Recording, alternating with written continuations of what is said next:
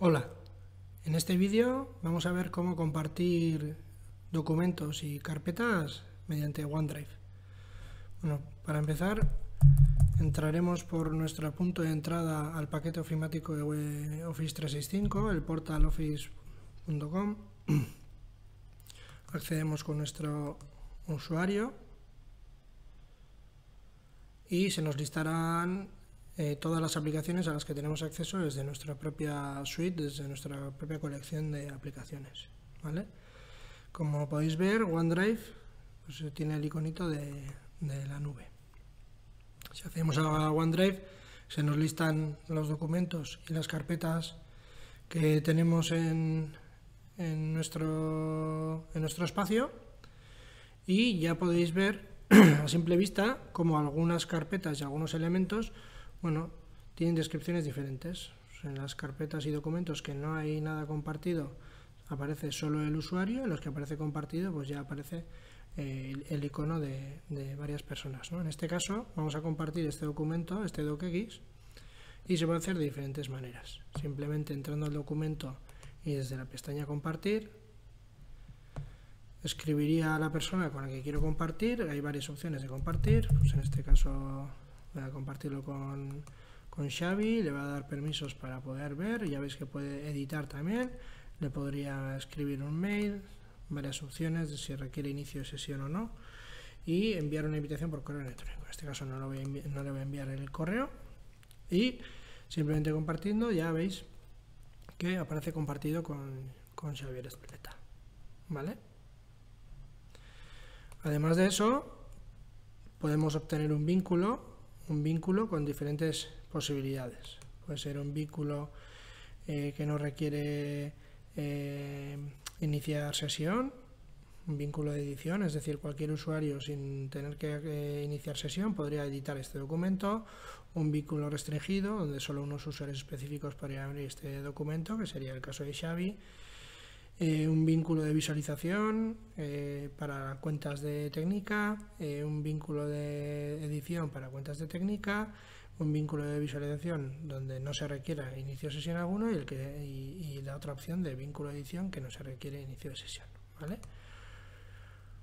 Tenemos la opción también de ver el compartido con quién y qué opciones tenemos. puedo darle permisos a Xavi para editar, para ver o incluso que deje de compartir pero tener en cuenta que dejando de compartir con Xavi,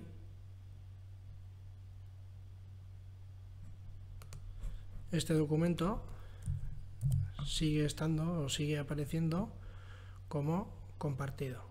¿vale? Para quitar esa opción, abrimos el panel de información,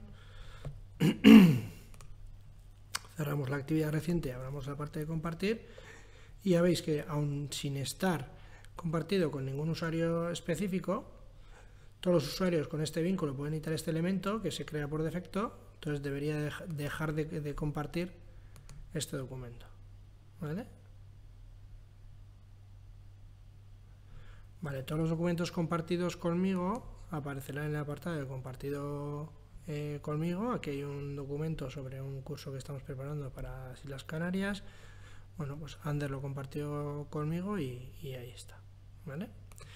Lo mismo para las carpetas. Veis que esta carpeta está compartida con varios eh, usuarios. Si yo la selecciono, puedo ver aquí con qué usuarios tengo compartida esa carpeta. Que Agustín, y conmigo mismo. Solo usuarios de técnica que tengan este vínculo pueden editar este elemento, es decir, esto que crea por, por defecto también. ¿Vale? Y si yo muevo un documento que está sin compartir y lo meto en la carpeta compartida. No ocurre como en otras suites, por ejemplo Google Drive, en la que actualiza esos permisos. Aquí se mantiene ese fichero, ese documento, con los mismos permisos que tenía antes de ser eh, introducido en esta carpeta. ¿Vale? Otra opción, o la gestión de los eh, permisos, se puede realizar también con botón derecho la opción de compartir. Bueno, se puede ir añadiendo eh, usuarios que se irán listando luego, cerramos actividad reciente, se irán listando aquí. ¿vale? Y luego quedaría la parte de opciones avanzadas, que ya nos abre todo un panel de control para la edición de, de los permisos en esa carpeta, por ejemplo.